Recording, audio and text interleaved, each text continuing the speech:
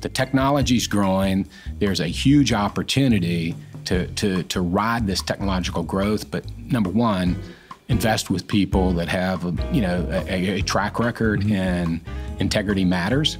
And we, we, we think, we know we check that box. Mm-hmm. Second, it's access. And that was something that, you know, I had hoped that we could deliver upon. Our other partner, Festus Turrington, who's out doing access things today, yeah. which really creates value.